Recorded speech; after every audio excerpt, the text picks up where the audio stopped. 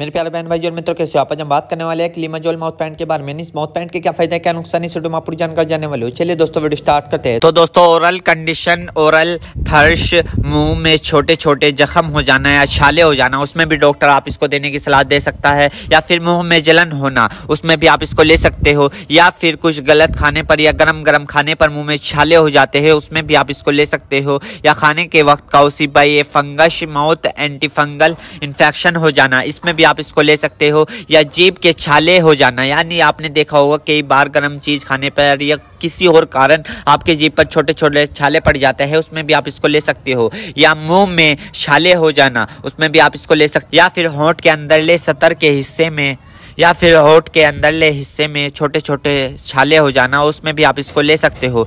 या फिर दोस्तों, कोई भी माउथ इन्फेक्शन जो कि छालों से रिलेटेड हो, उसमें भी आप इसको ले सकते हो। या फिर दोस्तों माउथ इन्फेक्शन यानी कि जो कि मुँह के अंदर जो भी कोई भी इन्फेक्शन हो, यानी कि छोटे छोटे चाले जैसा कोई भी इन्फेक्शन हो, उसमें डॉक्टर आपको इसको देने की सलाह दे सकता है। मेरे प्यारे बहनों, भाइयों, आपको दो बात विशेष रूप से ध्यान रखनी है। नंबर वन अगर आप इस प्रोडक्ट का यूज़ कर चुके हैं और आपको कोई भी परेशानी या किसी भी तरह के का अन्य साइड इफ़ेक्ट दिखा है तो घबराए नहीं, तुरंत इस प्रोडक्ट को लेना बंद कर दे और अपने डॉक्टर से संपर्क करें। नंबर टू किसी भी प्रकार की अन्य मेडिसिन या किसी भी अन्य प्रकार का कोई भी प्रोडक्ट अपने डॉक्टर के सलाह के नहीं लानी चाहिए, क्योंकि मरीज़ की पेशेंट की उम्र अकॉर्डिंग अंदर बॉडी में क्या चल रहा है, क्योंकि दोस्तों, हर आदमी के अंदर अलग अलग हार्मोन्स होते हैं, उनके हार्मोन्स के ऊपर, उनकी उम्र के ऊपर, उनके वज़न के ऊपर, उनकी जाँच करवाने के बाद डॉक्टर दवाइयाँ देता है। इसलिए दोस्तों, पहले अपने डॉक्टर से परामर्श यानी कि संपर्क करें।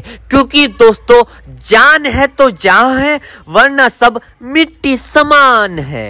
उम्मीद करता हूँ दोस्तों, अब आप तो दोस्तों इतनी क्लीमाजोल माउथ पैंट की फुल इन्फॉर्मेशन फुल जानकारी। दोस्तों, अगर आप हमारे चैनल पढ़ने हैं तो चैनल को सब्सक्राइब करें और इस वीडियो को ज़्यादा से ज़्यादा शेयर करें। थैंक यू धन्यवाद।